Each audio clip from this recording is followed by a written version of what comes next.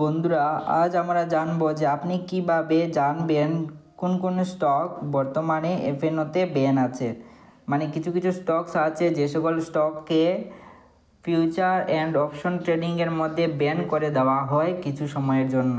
তো তার জন্য সেই সকল স্টকে কেউ ফ্রেশ এন্ট্রি নিতে পারে না। তো আপনি কীভাবে জানবেন যে কোন কোন স্টকস বর্তমানে এফএনওতে ব্যান আছে এবং কোন কোন স্টকস খুবই শিগগিরই এফএনও ব্যান থেকে উপরে উঠে যাবে। তো তার জন্য আপনাকে কি করতে হবে? সবার প্রথমে স্ক্যানেক্স ডট ট্রেডের মধ্যে এসে যা এসে যেতে হবে। তো আমি এখানে এসে গেছি।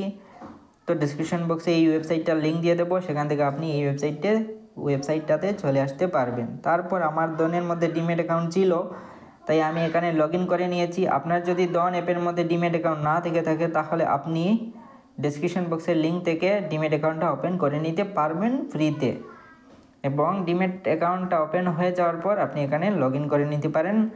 তারপর এখানে একটা অপশন আছে, দেখতে পারেন, ইনসাইডের একটা অপশন, ঠিক আছে? তো এই ইনসাইড, ইনসাইডের অপশনটাতে আমাদের কি করতে হবে? ক্লিক করে দিতে হবে।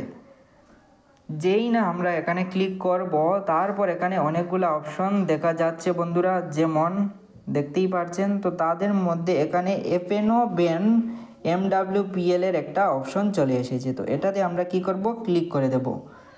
তো এটাতে ক্লিক করার পর বন্ধুরা দেখতে পাচ্ছেন যে অনেকগুলা স্টকস আমাদের সামনে চলে এসেছে, ঠিক আছে? যে সকল স্টক বর্তমানে এফএনও ব্যানের মধ্যে আছে, ঠিক আছে? তো যেমন আমরা বুঝব কীভাবে যে ওই স্টকটা কখন এফএনও ব্যান থেকে উপরে আসবে এবং বর্তমানে কতটুকু সময় বাকি আছে, সেটা জানার জন্য আমাদের কি করতে হবে? সেটা জানার জন্য আমাদের কি করতে হবে? এখানে দেখতে পাচ্ছ, একটা অপশন দেখাচ্ছে কারেন্ট এম ডাব্লিউ এর পার্সেন্টেজ ঠিক আছে? তো এম ডাব্লিউ মানে কি? এম ডাব্লিউপিএল হলো মার্কেট ওয়াইড পজিশন লিমিট ঠিক আছে?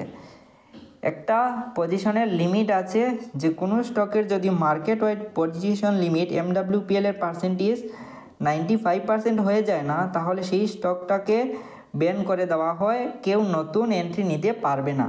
যারা এন্ট্রি নিয়ে ফেলেছে, তারা তাদের পজিশন ক্লোজ করতে পারবে, কিন্তু নতুন কেউ ফ্রেশ এন্ট্রি নিতে পারবে না। তো ফ্রেশ এন্ট্রি নেওয়ার জন্য এই স্টকটাকে কখন এলিজিবল করা হবে পুনরায়?